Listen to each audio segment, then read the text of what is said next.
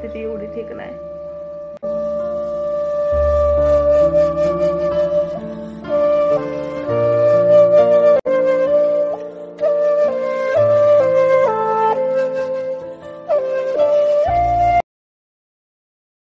जवळ असल्यामुळे चालतच निघालोय. ते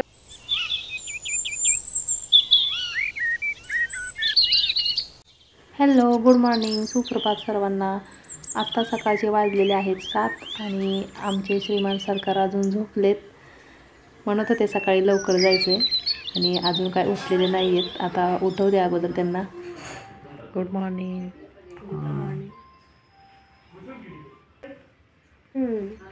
करते प्लस डोळा झाला. झोप होते का नाही?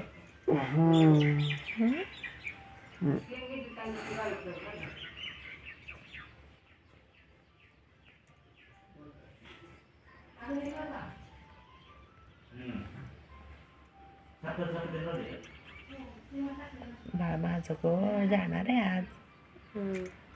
बरं उठा उठा दोघं पण. दत्ताचं आवरले दत्ता निघाला दत्ताला आहे आज ऑफिसला सुट्टी आणि त्याचं सगळं आवरलं आणि तो चाललाय वडूजला गौरीला आणि परीला घेऊन येणार आहे आज. संध्याकाळपर्यंत येतील. हो. हो हो फोन करा मी आहे गॅरेजवर या. चालते चालते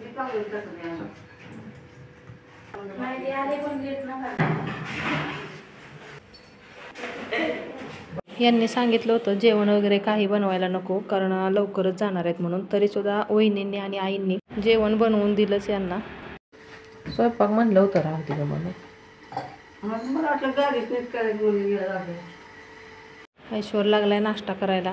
आणि हे पण नाश्त्याला नको म्हणत होते कारण यांना एकतर नाश्त्याची सवय नाही. पण सगळे म्हणायला लागले उपाशी कसं जात आहे म्हणून निदान नाश्ता तर करा. त्यामुळे नाश्ता करायला लावला यांना.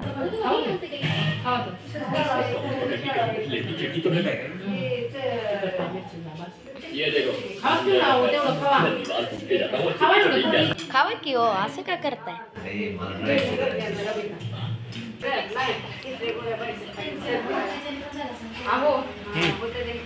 बॅग भरली आणि ह्याच्यात जेवण आहे बरं का? जेवण पाण्याची बॉटल आहे जेवण आणि ह्याच्यात एक वरच्या बाजूला.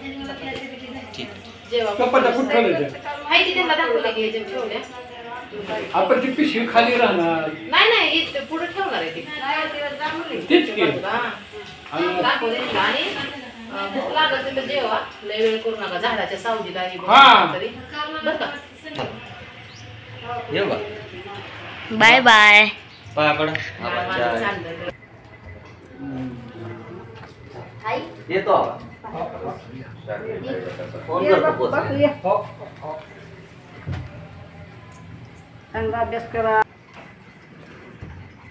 चला येतो हा? बोल. तुमचं ठेवलं नाही बघा अजून चला येऊ का? रिलॅक्स आहे म्हणून. तुम्ही दत्ता सगळेजण आहे म्हणून रिलॅक्स आहे. काही टेन्शन नाही पाया पाया हा? नसतं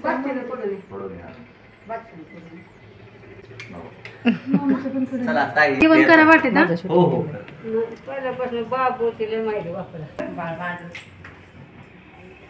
पाय पड मग मी नको नको बाळा नको नको. असू अभ्यास करा चांगला बरं का? भेटून मारते. काय पोरं पण येत नाही.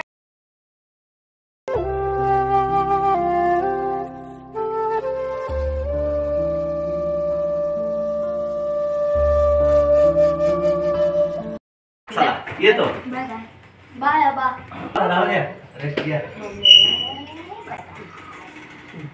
घ्या बाय चला दोन दोन महिने नका तीन महिने. काय? मला नाही आता पंधरा दिवसांनी. होय. ऐश्वर. ऐश्वर सायकल सारखी खेळायची नाही हा?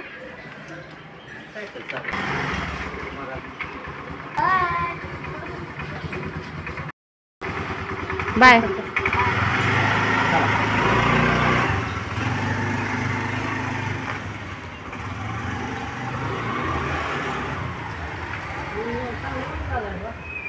तर आता वरती निघालोय आम्ही. ऐका मी दार लावते दोन मिनटं काय?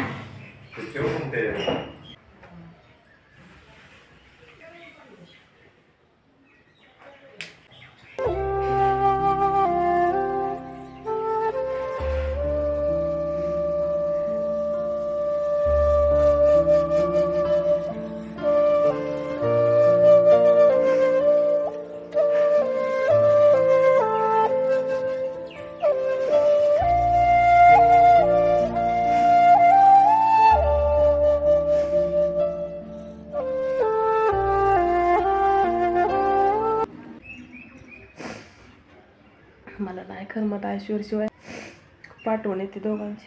पण आता नाईला झालंय मला राहावं लागतंय. माझी तब्येत पण क्लिअर नाही अजून. इथं किती मला काळजी घेते जपते. सगळी सोय आहे माझी. कोणत्या एका गोष्टीचं सुद्धा टेन्शन नाही. तरी सुद्धा मला यांच्याशिवाय नाही ऐश्वर्याशिवाय नाही करमत.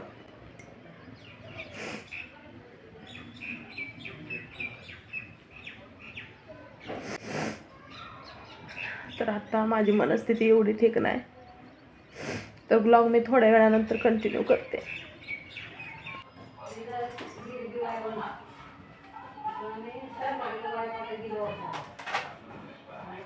जेवणे वगैरे झालेत सर्वांची आणि आता जरा बाहेर निघालो आहे त्यासाठी बेल्ट घालायला लागले. म्हणजे फारसं लांब नाही इथं जवळच दवाखाना आहे आणि दवाखान्यात जायचं आहे आणि खरं सांगू का मला असा सारखा सारखा बेल्ट घालायचा अक्षरशः कंटाळा आला आहे पण आता काय माहिती किती दिवस डॉक्टर वापरायला सांगतात. आत्तासुद्धा आम्ही दवाखान्यातच निघालो आहे म्हणजे फारसा लांब नाही तर जवळ दवाखाना आहे. आणि सकाळी काय यांना मी बोलले नव्हते की दवाखान्यात जायचं आहे नाहीतर मग जायला पण यांनी अजून लेट केला असता. म्हटले असते तुझा दवाखाना झाल्यानंतर जातो. आणि लांबचा प्रवास असल्यामुळे पुढे घरी जायला वेळ झाला असता. म्हणून यांना मी काहीच बोलले नाही. वहिनींचं चाललं आहे काम आवरायचं कारण सकाळपासून स्वयंपाकाचा नाश्त्याचा भरपूर असा पसारा झाला आहे ते आवरायला लागलेत तोपर्यंत जाऊन येतो आम्ही दोघी. आई आणि मी निघालो आहे दवाखान्यात आणि इथं जवळच आहे क्लिनिक. गेटच्या बाहेरच आहे. जवळ असल्यामुळे चालतच निघालो आहे तेवढंच व्यायाम पण होतो आहे कारण जेवण आत्ताच केलं आहे मग म्हटलं तेवढा व्यायाम पण होतो आहे चालत जाऊया. अलीकडे आहे मम्मी. ऐश्वर गेल्यामुळे काय करमे नाही. पण संध्याकाळपर्यंत परी येईल. परी आल्यावर करमते अजून जाणवायला लागले जरा. पाच ते दहा मिनिट लागतात पण ऊन आणि चढ आहे जास्त त्यामुळे मग तिथं थांबले जरा. असलं झाड बघी मला मराठी शाळेची आठवण होती तिथं आहे ती का मोठी मोठी झाडं तोडली काय? कुणा इथं एक झाड होतं आणि ते झाड पाहून मला लहानपणाची आठवण झाली. नव्हे? काटे त्या झाडाला लागते ना. सांगते रे त्या बाबा ते असले तर चला ना आई ना खूपच काळजी करत बसते. आता झाले की दोन महिने ऑपरेशन होऊन दोन महिने झालेत. तरीसुद्धा मला म्हणते की चढ आहे थोडंसं थांबत थांबतच जाऊया. तर अजून तुझं ऑपरेशन नवीन आहे काळजी घे. पण मला ना ह्या सगळ्या गोष्टींची हळूहळू हळू सवय लावायची. जाता जाता इथं मंदिर आहे शंभू महादेवांचं. तर इथं दर्शन घेतलं आता. तर या अगोदरच्या ब्लॉगमध्ये पण तुम्ही पाहिलं असेल ही आहे सोसायटी. आणि आम्ही इथूनच आलो आहे आता. आणि या साईडला जायचं आहे आम्हाला. इथं जवळच आहे दवाखाना. रोड क्रॉस केला की रोडच्या पलीकडच्या बाजूला दवाखाना आहे.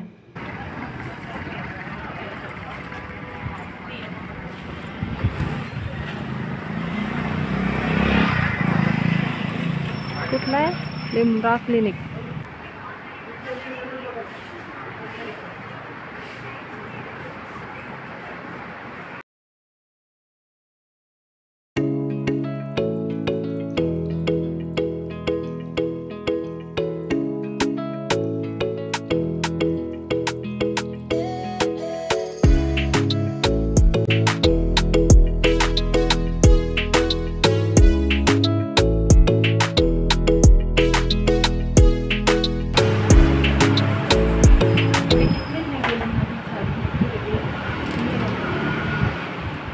कंटिन्यू कौन सी गोली खाते हैं हाँ।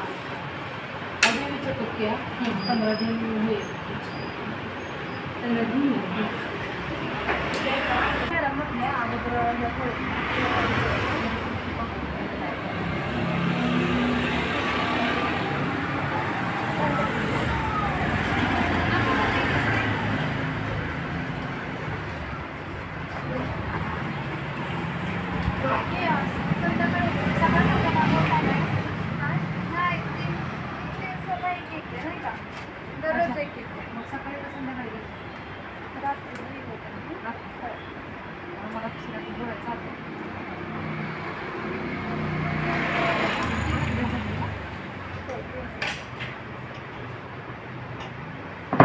तर चेकअप वगैरे झालेला आहे.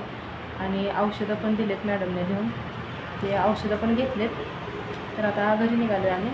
घरी गेल्यानंतरच ब्लॉग कंटिन्यू करते. तर आलो घरी आत्ताच आम्ही आणि मॅडमने जी काय औषधं दिलेत ते आता औषधं घेते आणि रेस्ट घ्यायला सांगितले त्यांनी. आणि गळ्याला माझ्या असं सारखं खाज सुटल्यासारखं होतंय. मानेला गळ्याला नंतर असं कान कानालासुद्धा असं खाज सुटल्यासारखं होतंय. आणि तरी पुरळ नाही उठली. मध्यंतरी काय झालं होतं पूर्ण हाताला दोन्ही हाताला मानेला आणि गळ्याला. अशी पुरळ उठली होती एकदम बारीक पुरळ उठली होती.